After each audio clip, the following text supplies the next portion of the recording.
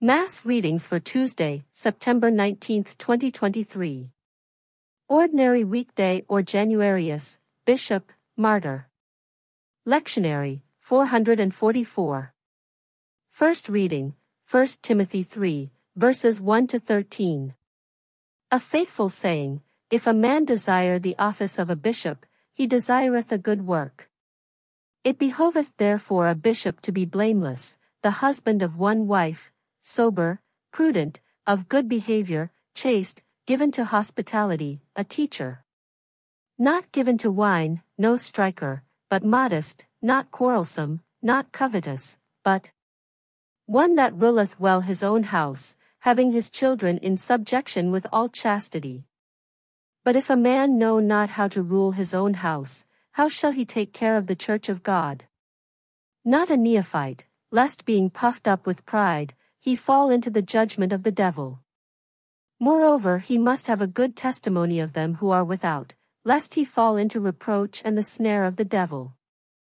Deacons in like manner chaste, not double-tongued, not given to much wine, not greedy of filthy lucre. Holding the mystery of faith in a pure conscience. And let these also first be proved, and so let the minister, having no crime. The women in like manner chaste, not slanderers, but sober, faithful in all things. Let deacons be the husbands of one wife, who rule well their children and their own houses.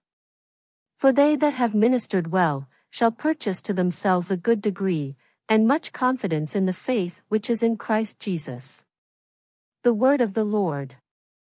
Thanks be to God. Responsorial Psalm. Response I will walk with blameless heart. Mercy and judgment I will sing to thee, O Lord, I will sing. And I will understand in the unspotted way, when thou shalt come to me. Response I will walk with blameless heart. I walked in the innocence of my heart, in the midst of my house. I did not set before my eyes any unjust thing. Response I will walk with blameless heart. The man that in private detracted his neighbor, him did I persecute. With him that had a proud eye, and an unsatiable heart, I would not eat. Response, I will walk with blameless heart.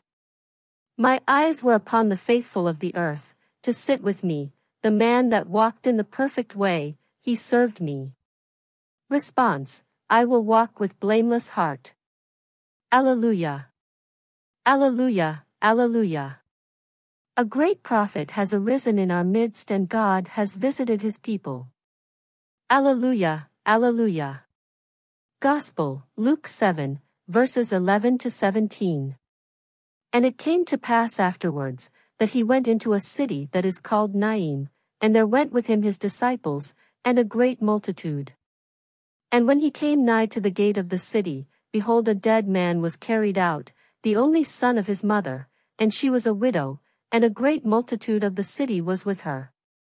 Whom when the Lord had seen, being moved with mercy towards her, he said to her, Weep not. And he came near and touched the bier. And they that carried it, stood still. And he said, Young man, I say to thee, arise. And he that was dead, sat up, and began to speak. And he gave him to his mother. And there came a fear on them all, and they glorified God, saying, A great prophet is risen up among us, and, God hath visited his people. And this rumor of him went forth throughout all Judea, and throughout all the country round about. The Gospel of the Lord. Praise to you, Lord Jesus Christ.